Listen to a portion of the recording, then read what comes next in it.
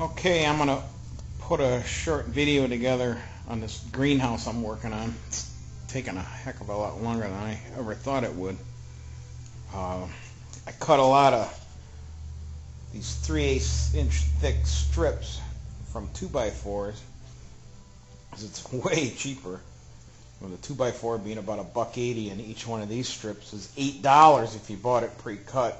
And 10 of them's 80 bucks, so I just got the old uh, table saw out and spent a couple hours ripping these boards down. And that holds all this plastic on. As you can see, I just screw them over the plastic. I wrap the plastic around these outer edges and just pull it tight and then screw them in. And then these center ones here just kind of keep it tight when the wind's going to be blowing, I hope. So these walls are built pretty much like any construction wall for a house except I screwed the bottom plates and the top plates to the sides instead of into the bottom because you get a much more secure uh, attachment that way you don't have to send the screw into the uh, the wood this way. Plus I got a nice vent hole if I want.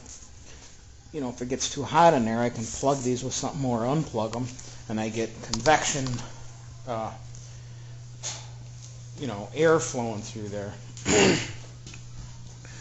and these all these angle pieces are just to keep the wall square uh, the door.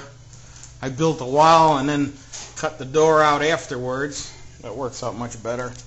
These angle pieces here are to keep the door square.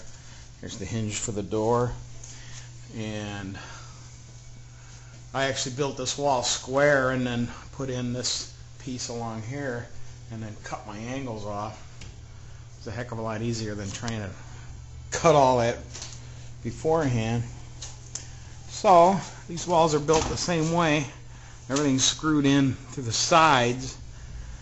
It's way more secure. These pieces back here. You can't see them too good. Those are just the roof pieces. There's a roof piece sitting over there. This garage is such a mess. There's another roof piece here. These are the stationary roof pieces.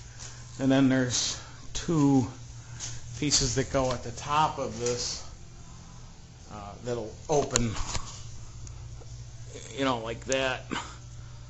Uh, there we go. I can open and close them like that to vent the heat out in the middle of summer when it gets really hot. So I got all the walls covered with plastic. I just got to secure them up a little bit. I got to do these roof pieces here. Put plastic on those. And I should probably paint this. It's too late now. I've wrapped it in plastic. But anyways, this I can replace this plastic pretty easily. Probably take a whole day to, or even a whole weekend to replace all this plastic. It's taken me two weekends to put it all on, but I had to cut all this wood, so that was many hours of cutting the wood and cutting all these angles and these peak angles and stuff like that. So just doing a replacement maybe next year. Hopefully I get a couple years out of this plastic. It's not UV plastic. It's just some cheap 4 mil stuff from, uh, I guess I got it at Walmart or Home Depot or something. So anyways, there's my greenhouse video and I'll make another one when I get it all together.